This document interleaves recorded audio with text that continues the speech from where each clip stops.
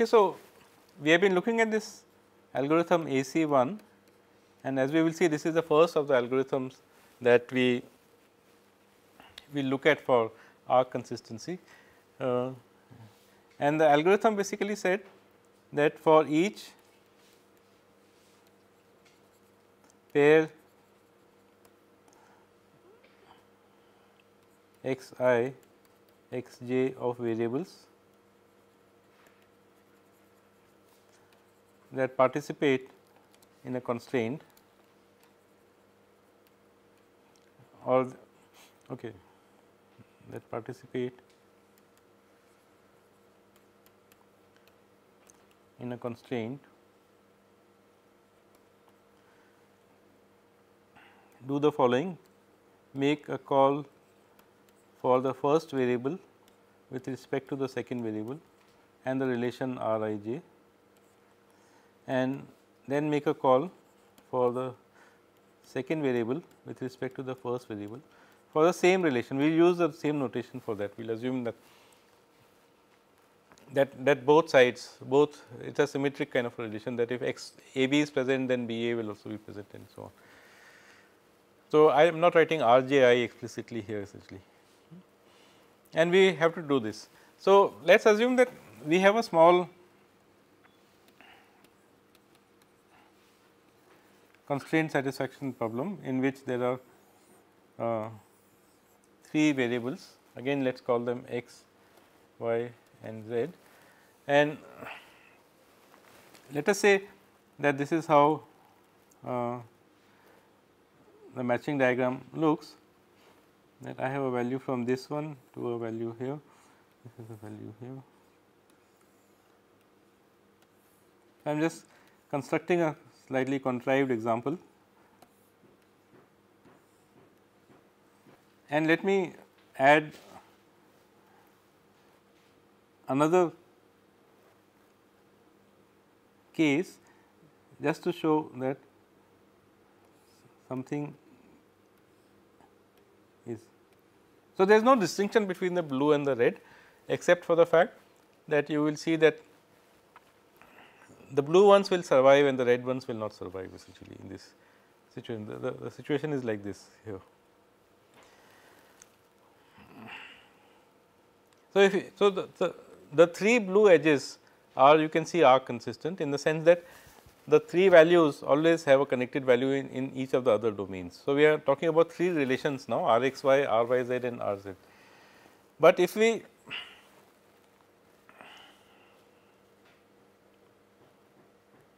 if I just make one one call. So, what are those three one calls that I am talking about? Uh, so, the red calls will be or the calls that I am interested in will be uh, x with respect to y, y with respect to x, uh, let us say in this particular order y with respect to z, z with respect to y and z with respect to x and x with respect to z. Okay. So, we have these three pairs of variables. There this this particular example has three constraints between each of the three variables. So, when I do x with respect to y, what will happen? Uh, the first all all all all four values have a matching value in this essentially. And then when I do y with respect to x with y with respect to x, then again I find that all four values have a matching value to this.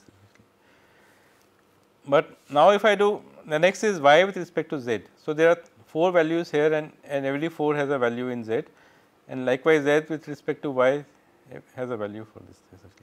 Only when I come to z with respect to x, okay, in this case there is a first delete.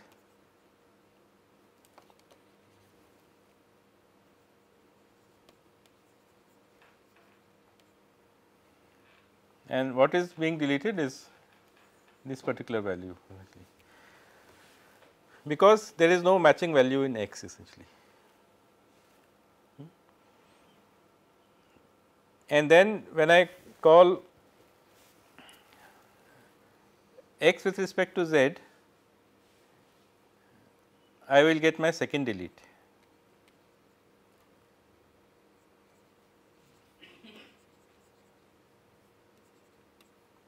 Let me use a star here. So, this will be the one that will be deleted.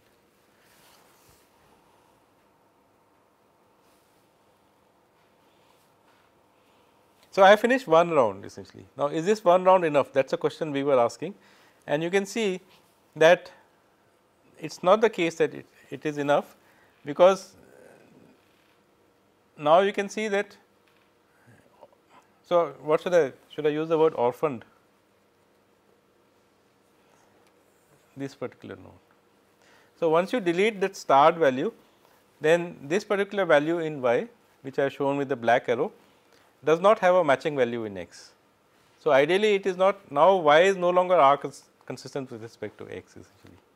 When I have deleted the first value it has likewise made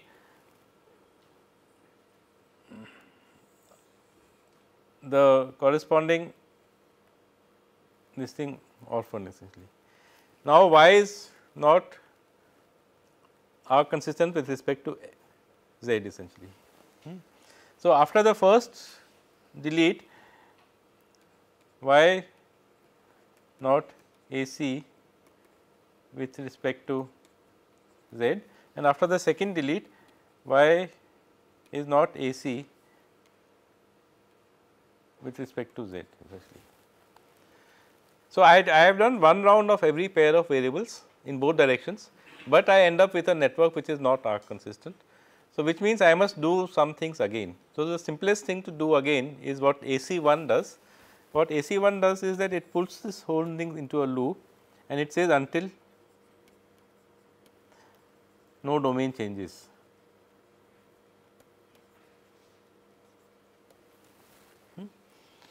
So, in our example what has changed the domain of x has changed and the domain of z has changed.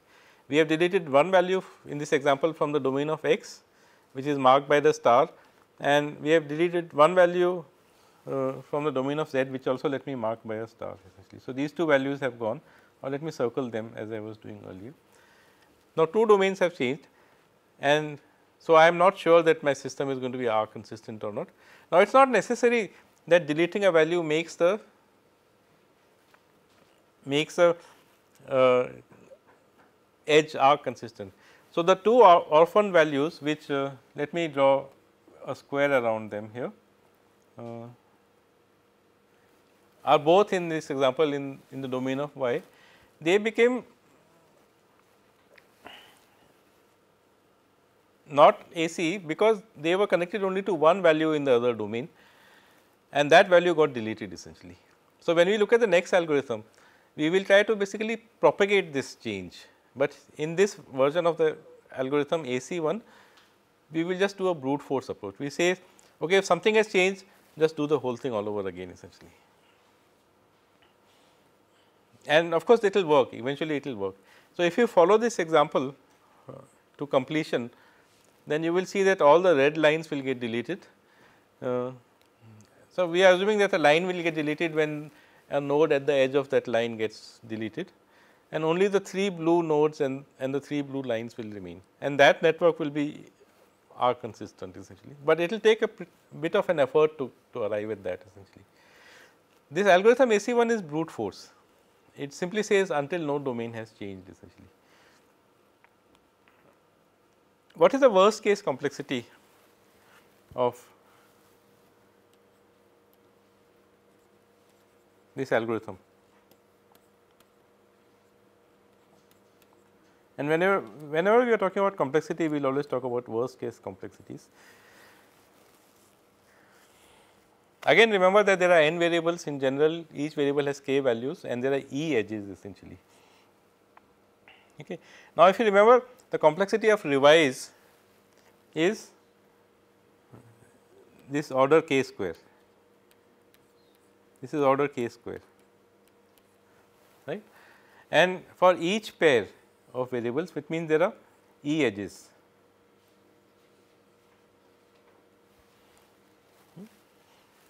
in the constraint graph there are e edges and therefore you will do e into 2 into order k square. So, the complexity of one cycle here is order E k square. You are calling k square which is revised and you are calling, it 2 e times essentially for each edge you are calling it twice essentially. But 2 of course as you know we ignore when you are writing complexity. So, it is order E k square Now, how many cycles will happen essentially in this in the worst case. Now, it turns out if I had not drawn the blue blue triangle, if I had only drawn the red triangle, then you can see that every variable, every value would have got deleted. And in fact, the network would have become uh, all the domains would have become empty if those blue cycles, blue things were not there.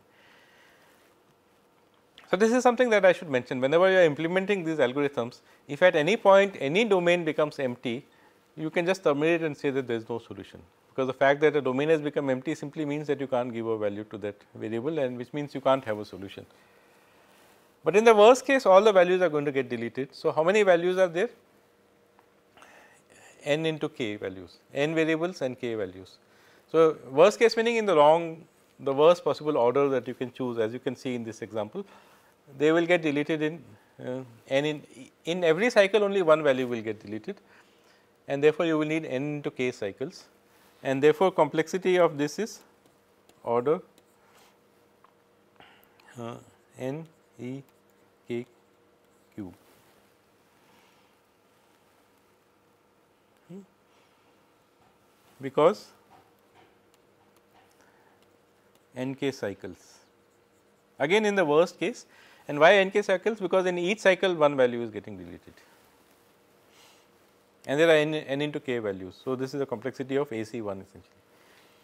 So, let us look at uh, improvement upon this and this algorithm for some reason is called AC 3 because there was proposed an algorithm at some point called AC 2, but it turned out to be too close to AC 3 and therefore, we never study AC 2.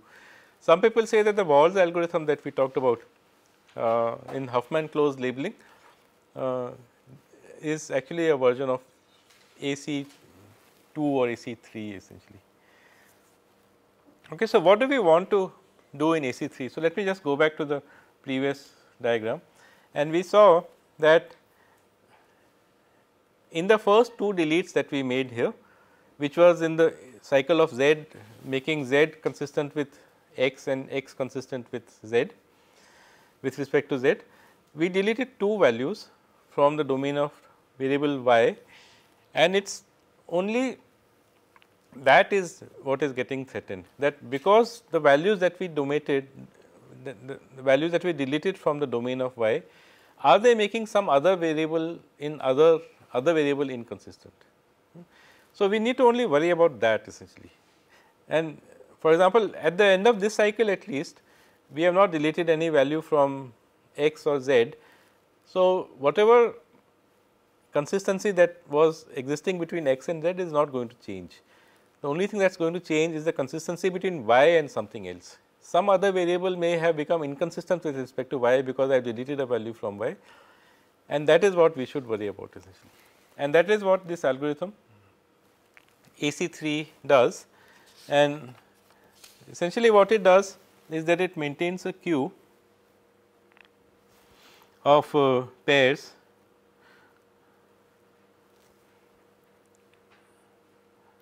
So, for every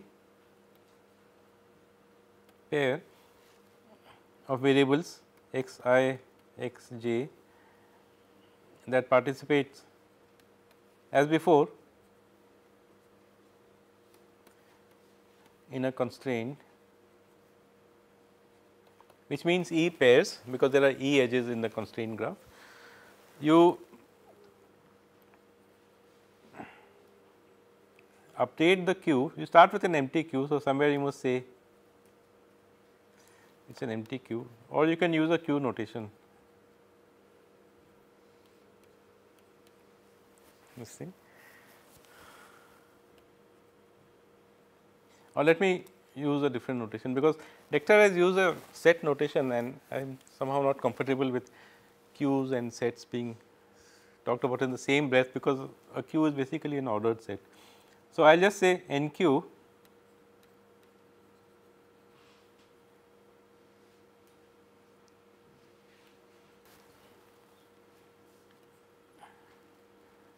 the pair x i x j and then in q. Does it have two u's or one u? I always get confused between spellings x j comma x i. So, there is an initial cycle in which I add all pairs uh, this is exactly like we did in AC one that you consider all pairs of it. But now we are going to maintain a queue essentially hmm? and then we are going to make calls to revise.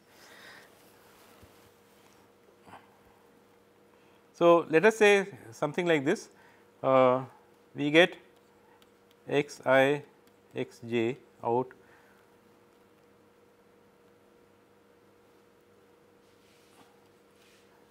So, I will use this notation that you are just dequeuing the queue and taking out the first element from that which is x i and x j which which stands which, which is equivalent to saying that you are removing it from the queue essentially and now you are going to handle this essentially. Then I will call revise with domain i domain J and R i j again.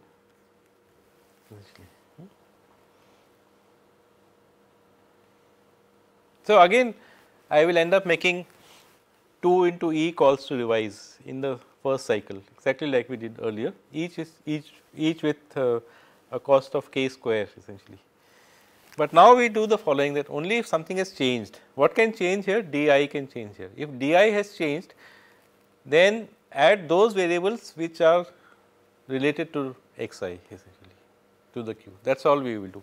So, in the previous example that we saw, if in this example everything is related to everything else, so it does not sound so interesting, but supposing it was a, a less connected graph, there were many variables and there were fewer connections, then if I change the uh, domain y, I will only worried about the those variables which are related to y and I will put them in a queue essentially. So, that is the basic idea behind uh,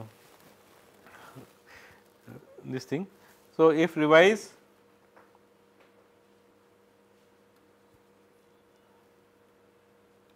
if di has changed then for each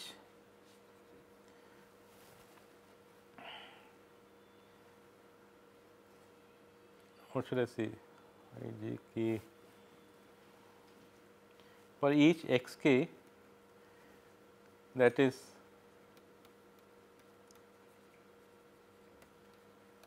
to x i I must enqueue that variable essentially.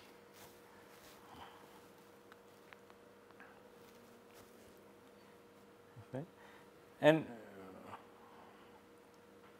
where k is not equal to j and k is not equal to i hmm. So, we do not want to talk about that variable. I will say enqueue I should have written this here anyway.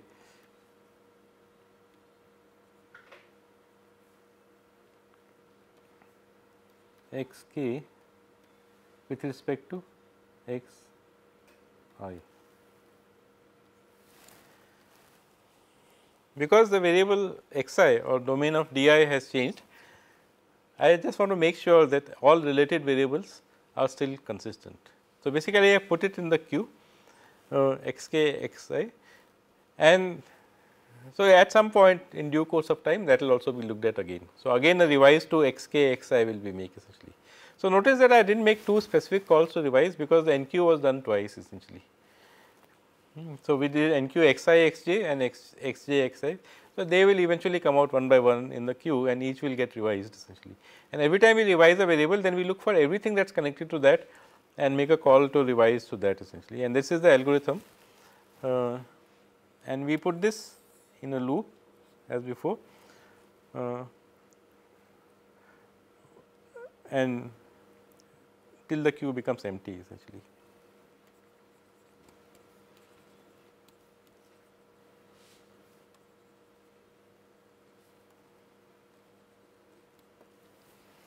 Okay, so again now we want to talk about the complexity of AC3.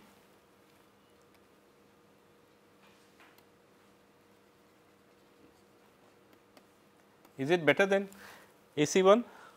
What does the intuition say?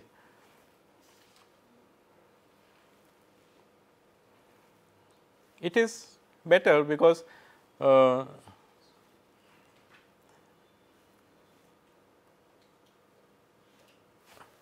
you are only adding to the queue those variables which are related to a domain which has changed essentially. Whereas in AC1 you said do everything all over again for all pairs of variables do everything all over again. So, supposing we have now n variables here and only one value has changed let us say d y in this case as we saw then we will only take those variables which are connected to y and include them. So, we look at only a small subset of variables then if they result in a change, we look at another small subset and so on and so forth essentially. Hmm. So, what is the complexity of this? Uh, uh, again you can see that this one has the same complexity order k square uh, and how many times will this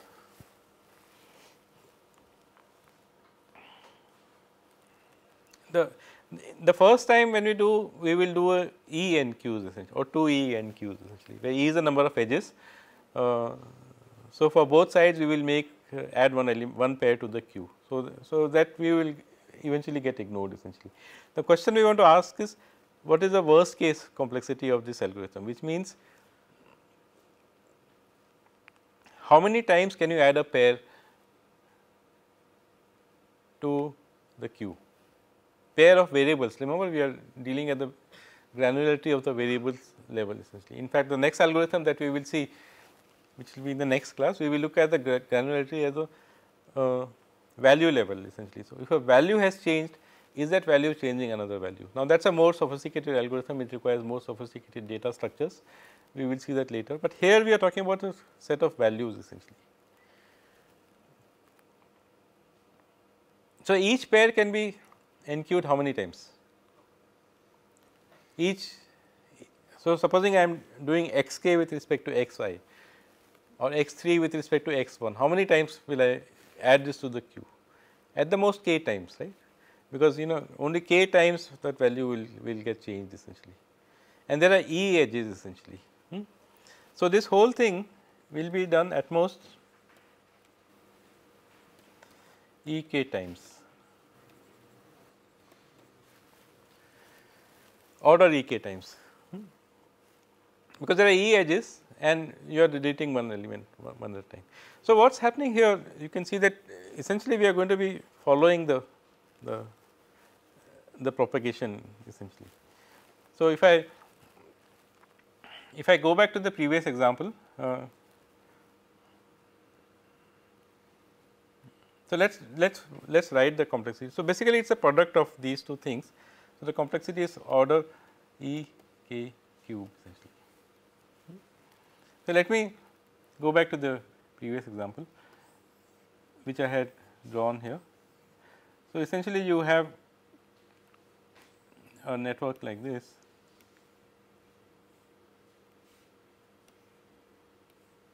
So, let us let us let do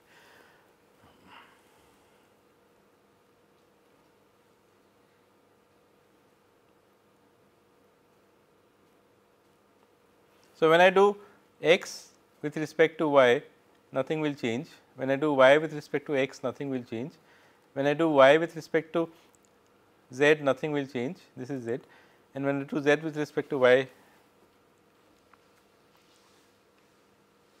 sorry when I do y with respect to z uh, this value will change. This value will get deleted essentially. Then when I do z with respect to x, nothing will change. When I do x with respect to z, then this value will change. So, in the first cycle you can see that there are two values which have changed. Then and these two values if you if you see this uh, graph so to speak it is basically a linear graph uh, where which has two endpoints one is in x and the other one is in y and the two elements of the two endpoints have got deleted in this first cycle. In the second cycle the next two endpoints will get deleted in the third cycle the third two and so on and so forth. So, we will do essentially E k times in the worst case essentially because E is the number of edges in this and So, the worst case of course happens when everything gets deleted from the corresponding domains essentially. Okay, so, let us just do a recap of what we have done. Uh, we looked at the algorithm AC1 which is a brute force algorithm which says revise every variable with respect to every other variable and if any domain has changed then do this whole process all over again every variable against every other variable. Now, that does not make sense because you know you are doing too much extra work. So, AC 1 says AC 3 says that initially you revise every variable with every other variable which is done by the two NQ statements that we have, but subsequently if a only if a variable if a domain has changed you make look at the connected variables for that particular variable essentially. So, we are looking at the granularity of the variable level essentially. Now, you can see an example uh, let me just do a small example here. Hmm, so, I have x and I have y. Now, if I if I do this algorithm AC 1 or AC 3 does not matter, the only thing that will happen in the end of the first cycle is that this one colored value will get deleted essentially. Hmm. But you can see that that deleting this value has not changed the consistency of y with respect to x. That is what AC 3 does. AC 3 says if I am deleting, if I am changing the domain of x, if I am changing dx, then call revise y with respect to x again essentially. Okay, that is what we are saying. If di has changed, then for each x k that is related to x i, put that in a queue and basically call a revise all over again to queue essentially. Now, in this small example on the bottom left, you can see that after I have changed the domain of x, I have deleted one value, I as the variable y is still consistent with respect to x. Suppose assuming that you know there may have been another variable which I another value which I had deleted, but as a result of deletion of this particular value the one in the uh, one in the shaded this thing here the consistency of y with respect to x is not changing. AC3 will still investigate this it will still make a call for revise y with respect to x which means for every value of y it will look for every value look for a value of x essentially. This is a kind of work which it does because it is looking at the level of a variable. In the next class when we see we look at this algorithm called AC4 which will look at the level of values which will say deleting this particular value is it changing something in some other variable and then we will try to follow the link. Yeah Stanley. Yeah, yeah. You should have told me earlier. So, I will make the change here.